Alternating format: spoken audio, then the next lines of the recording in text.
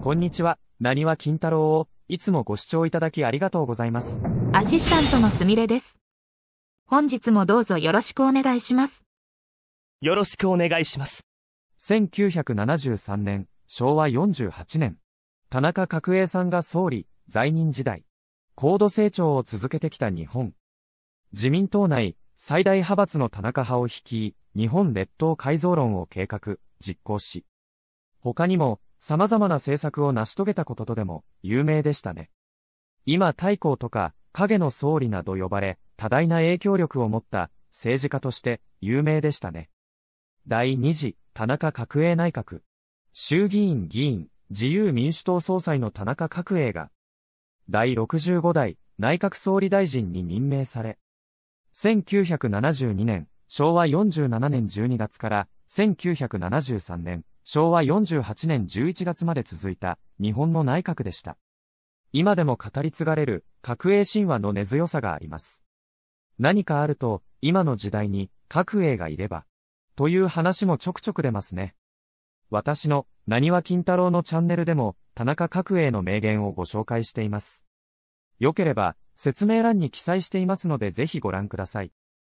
そんな1973年は、経済的にも不安定になった頃、物価が急上昇し、第一次オイルショックと言われ、当時の政府の呼びかけで、紙の節約が呼びかけられ、人々は紙がなくなるという物不足の恐怖から、トイレットペーパーの買いだめ騒動が起きましたね。日本中の店舗からトイレットペーパーが消えた。さらに、洗剤や砂糖、塩までもが買い占められました。市民の家の押し入れにはトイレットペーパーでいっぱいだった。そんな年に流行したテレビ番組に、ドラえもんや仮面ライダーなど、流行した。流行歌では、五木ひろしの夜空、桜田淳子の私の青い鳥、沢田健二の危険な二人などが流行しました。映画では、007、死ぬのは奴らだ。仁義なき戦いなどがありました。流行語には、狭い日本、そんなに急いで、どこへ行くとか。ドリフターズ、加藤茶の、ちょっとだけようや、お客様は神様ですなどが流行しましたね。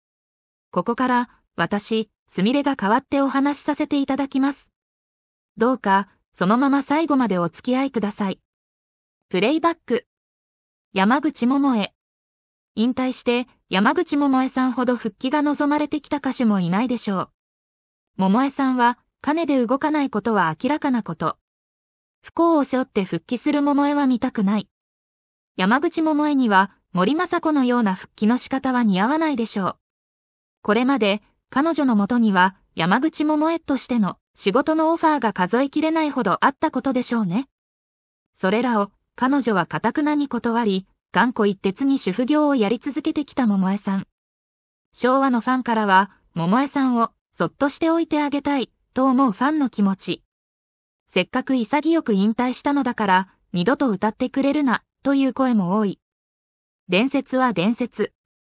1973年、昭和48年4月には、山口百恵が14歳で、年頃でデビューして、所属したレコード会社のキャッチコピーは、大きなソニー、大きな新人。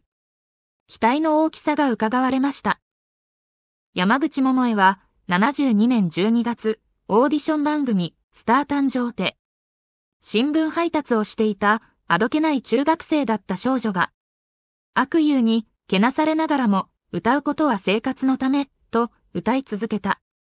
牧場由美の回転木馬を歌って準優勝し、20社から指名を受けてデビューして、ホリプロに所属、レコード会社は CBS ソニーに所属した。職業として自ら選んだ道、当時は、笑顔をあまり見せなかった桃江さんだったそうです。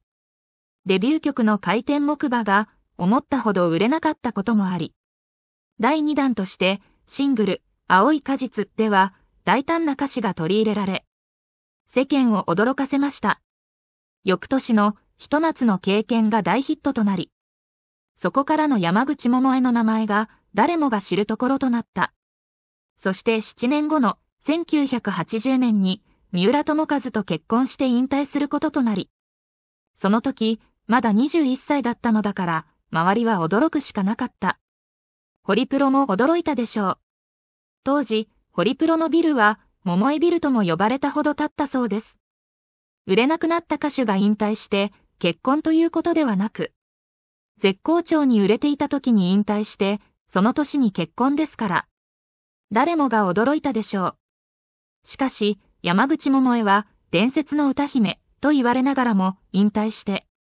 それ以降、表舞台に出ることは一切なく、伝説の歌手となったのは、言うまでもありません。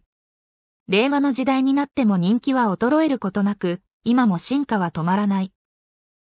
1973年の音楽シーンでは、ドラマ、時間ですよ、のお手伝いさん役で出演していた、浅田美代子が、ドラマの劇中歌だった赤い風船で歌手としてもデビューして、50万枚近くを売り上げる大ヒットとなったが、最近、テレビに出演した浅田美代子さん。周りで囁く声が、なんであんなに歌が下手なのに売れるの、なんて言葉が聞こえたと話していました。浅田美代子さんは、65歳になった今でも、笑顔の綺麗な可愛いらしく、当時の写真を見ると本当に可愛らしい少女だったことがわかります。当時、2万5千人の応募者の中から選ばれたのも、うなずけます。安倍静江も、コーヒーショップでデビューして、この曲が大ヒットしましたね。その時のキャッチフレーズは、フリージアの香りだった。続く、水色の手紙も売れ行きも好調で、ヒットチャートを賑わせた曲でした。レコード会社を移籍した沖縄出身の兄弟5人組グループフィンガー5がリリースし、個人事業も70万枚を超えるセールスを記録した。フォークソングの人気も続いており、井上陽水の名盤氷の世界がリリースされたのもこの年でした。かぐや姫の神田川やこの年の日本レコード大賞には、五木ひろしの夜空が輝いた。最優秀歌唱賞は、恋文の雪沙織。最優秀新人賞は、桜田淳子でした。しかし、現在も昭和の時代は良かった、という人も多く、懐かしい話も盛りだくさんですね。今は携帯電話があって、遠方の友人ともすぐに連絡が取れるし、家族全員が一台持つ時代になりましたね。パソコン一台でいろいろな仕事をこなせるし、何かと便利な世の中ですが、一昔前は固定電話しかなかった昭和の時代でした。ポケベルができて、知らせのベルが鳴ると、公衆電話から会社に連絡。携帯電話が普及したことで便利な反面、どこにいても追いかけられるという不自由さが生まれました。